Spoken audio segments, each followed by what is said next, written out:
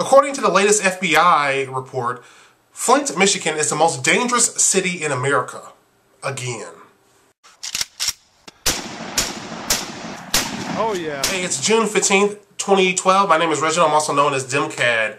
Flint, Michigan had 52 homicides last year, according to the FBI. What's interesting is they said that uh, crime, violent crime overall actually decreased uh, across the country. However, there was actually an increase in murders in 2011 inside the cities. And they said that overall violent crime dropped about 4% in 2011. It's really interesting when you look at the 24-7 Wall Street review of the 2011 FBI uh, statistics. They're actually showing that uh, crime, actually, violent crime increased significantly in the, in the, in the cities. Uh, so essentially the top five cities is uh, starting at number five, you have Memphis, Tennessee. You have Oakland at number four, Oakland, California. Number three, St. Louis. St. Louis had a violent crime uh, rate of 18.6. That's per 1,000. Okay, violent crimes per 1,000. So a lot of you guys ask, well, what if one city has a lot more people than another city?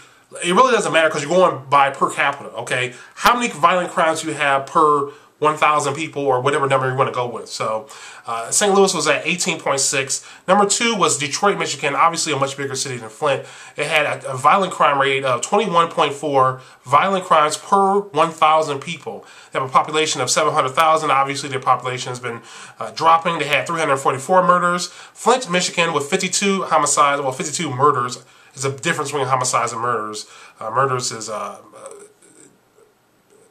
illegal homicides, whereas homicides can include justifiable homicide as well as murder. So, anyway, Flint had a rate of 23.4 with an unemployment rate of 18.9%. You know, I, they have a quote here from the mayor talking about the availability of guns, and there's too many guns on the street. You know, you hear this a lot from a lot of Democratic politicians, and it's just uh, a bit goofy. you know, maybe it has something to do with uh, a lack of economic opportunities. Maybe it has something to do with a lot with the rap, uh, the rampant poverty. Maybe it has a lot to do with the degenerate culture that many people have embraced. Maybe it has a lot to do with broken families. Maybe it has a lot to do with uh, the people. Maybe it's not the guns. Maybe it's the people. Okay, I don't know. Just something to think about there. So anyway, you guys share your opinions on uh, this trend It looks like crime overall is actually dropping across the country, but in the cities they're actually increasing. But yeah, obviously there's a big black population in all the cities, and uh, you know the black population in this country is dealing with some issues, uh, black on black violence. You can't have a large percentage of your young people being raised without father figures in their homes without there being some type of serious consequence. And a lot of those young people are getting involved in a violent uh, idiotic culture that's leading to their own destruction. Now, obviously, not all cities with big black populations fall into that category. Some of these cities with big black populations actually do pretty well. You have Atlanta, for example. But with that said, Flint, Michigan, uh, obviously, uh, it, it, the bill actually the bills are going up. They, they they're increasing sewage. They're, inc they're increasing water again. There was a big uh, city town hall community meeting or whatever about uh, the streetlight fees. We have a city manager, a city emergency manager or whatever. It's from the state.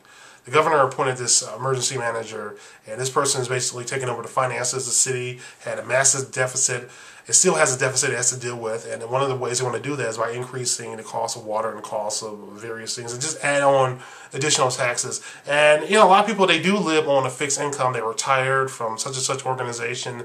And even though the bills are going up, that doesn't mean that their money is necessarily going up.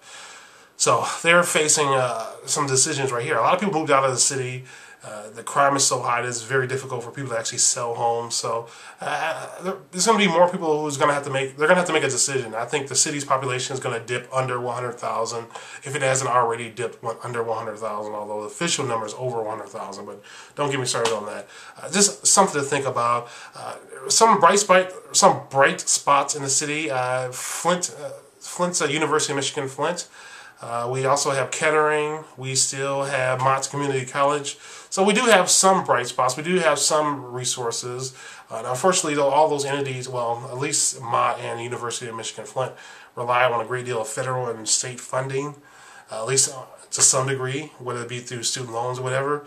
So right now the city's looking for production. You know, we're, we're looking for a way of, of making up uh, the deficit we've had because of a lack of produ production jobs. So that's uh, our American story. Thanks for watching. Thanks for listening. And don't forget, the future belongs to those who prepare for today. And yes, I'm still carrying my Glock 21. Some people say that, you know, if you get a big, heavy 45, full size 45, you, you might not carry it consistently.